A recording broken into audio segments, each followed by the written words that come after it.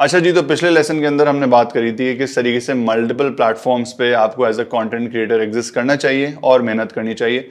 अब हम ज़रा बात कर लेते हैं कि इन्वेस्टमेंट और एडवर्टीजमेंट में आपको किस तरीके से पैसा लगाना चाहिए।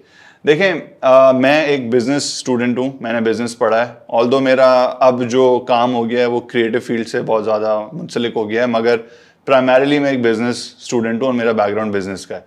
तो मैं जब भी यूट्यूब को या कंटेंट क्रिएशन को देखता हूँ तो मैं हमेशा उसको एक बिज़नेस की तरह देखता हूँ। और हर बिज़नेस को, हर दुकान को, हर सुपर को आपको कुछ भी अगर उसके अंदर बेचना है तो उसकी आपको एडवर्टीजमेंट करनी पड़ेगी। और यही बेसिकली रूल आपके कंटेंट के लिए भी है, क्योंकि आपका कंटेंट एक प्रोडक्ट है। आप एक सेलर हैं, आप एक प्रोड्यूसर हैं, एक मैन्युफैक्चरर हैं, और आपका जो कंटेंट है, वो आपकी सर्विस है या आपका गुड है।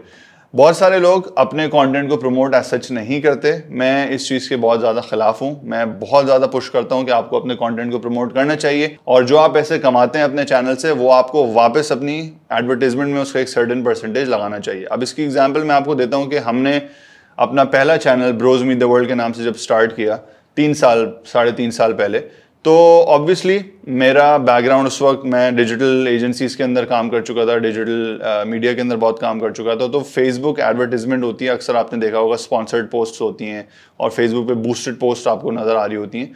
ये फेसबुक आपको बड़ा एक अच्छा ऑप्शन देता है, वो इंस्टाग्राम पर भी आपके पास आ गया है कि आप यू नो प्रमोट कर सकते हैं अपनी चीज़ों को। गूगल एड्स हैं जो आप यूट्यूब के ऊपर प्रमोट कर सकते हैं। खैर, उसकी डिटेल्स में, मैं नहीं जाऊँगा but we're am trying to say utilise those tools हमने जब इनिशली अपना चैनल स्टार्ट किया तो ऑब्वियसली हमें यूट्यूब का तो कोई ख़ास पता नहीं था बट फेसबुक में हम बहुत चीते थे तो हमने दबा के फेसबुक के अंदर एडवर्टीजमेंट करी। हमारा महीने का उस वक्त बजट जो था फेसबुक का, वो एटलीस्ट पच्चीस से तीस हज़ार रुपये था। हम पच्चीस से तीस हज़ार रुपये हर महीने बिला नागा फेसबुक के ऊपर इन्वेस्ट करते थे, अपनी अपनी वीडियोस को बूस्ट करते थे, अपनी पोस्ट को प्रमोट करते थे।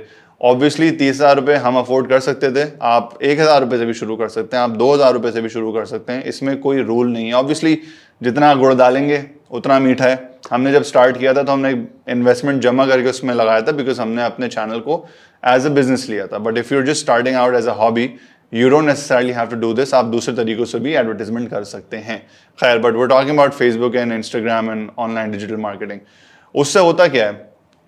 आपके पास वो वाले लोग भी आ जाते हैं जो डायरेक्टली आपकी वीडियोस प्रॉब्ली ना देख पाएँगे। एक पॉइंट आपका आता है जब आपको वो एडवर्टीजमेंट के अंदर इन्वेस्ट करने की ज़रूरत नहीं पड़ती because then you are already established हमारे लाइफ साइकिल के अंदर भी चैनल के यही आया।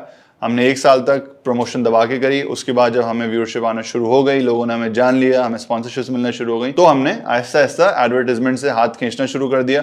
और वो पैसा जो हम एडवर्टीजमेंट में लगा रहे थे, वो हम अपने चैनल के अंदर लगाना शुरू हो गया हमने इक्विपमेंट लेना शुरू कर दिया, हमने अपनी प्रोडक्शन जो कैपेसिटी है वो बढ़ाना शुरू कर दी, हमने ट्रैवल के अंदर पैसे लगाना शुरू कर दिए, ताकि बेहतर से बेहतर कंटेंट लोगों को मिल सके।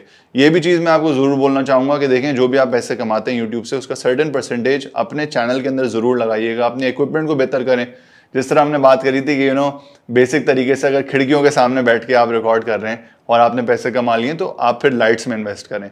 अगर आपके पास कैमरा अच्छा नहीं था और इवेंचुअली आपके पास पैसे आना शुरू हो गए तो आप कैमरे में इन्वेस्ट करें साउंड प्रूफिंग में इन्वेस्ट करें, बेहतर गैजेट्स के अंदर इन्वेस्ट करें। फिर इसी के साथ साथ एक जो बहुत ज़रूरी चीज़ है चैनल्स के ऊपर, वो होती है गिव अवेज और उसके अंदर आपकी ऑडियंस इंगेजमेंट बहुत ज़्यादा हो जाती है, उससे व्यूअरशिप बढ़ती है और गिव अवे बेसिकली क्या होता है कि आपने कोई चीज़ खरीदी है, आपने कॉम्पिटिशन रन किया और उस कॉम्पिटिशन के अंदर आपने अपने किसी एक फ़ैन को या फॉलोअर को कोई भी एक चीज़, कोई भी आइटम दे दिया।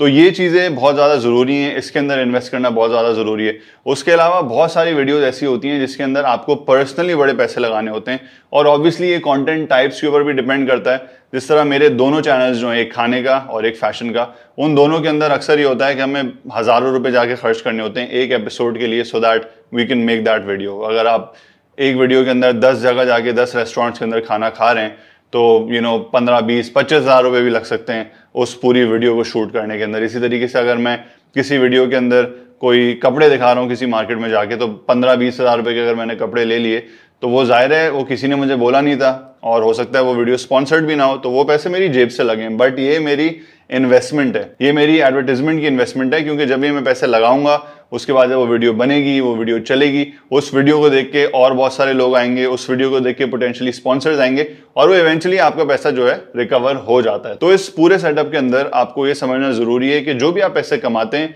अपनी जेब के अंदर डाल के घर में जाके जो है वो दीवार के अंदर नहीं डाल दें। Make sure that you invest some percentage of it back in your channel क्योंकि आहिस्ता आहिस्ता आपको अपने चैनल की क्वालिटी कंटेंट की क्वालिटी ओवरऑल शूटिंग की क्वालिटी ओवरऑल एक्सपीरियंस की क्वालिटी ये सारी चीज़ें ऐसे ऐसे आपको बढ़ानी होंगी। क्योंकि देखें कंपटीशन बहुत ज़्यादा स्ट्रांग है और अच्छे से अच्छा बंदा जो है ना यूट्यूब के ऊपर अब आना शुरू हो गया है। कुछ लोगों के पास ज़ाहिर है एक इनक्वालिटी है बहुत इनकम की तो कुछ लोगों के पास बहुत ज़्यादा पैसा होता है और वो बहुत ज़्यादा प्रोडक्शन के अंदर इन्वेस्ट कर सकते हैं। तो कॉम्पिटिशन बड़ा सख्त है। Make sure that you're smart and whenever you start making money make sure that you're smart with that money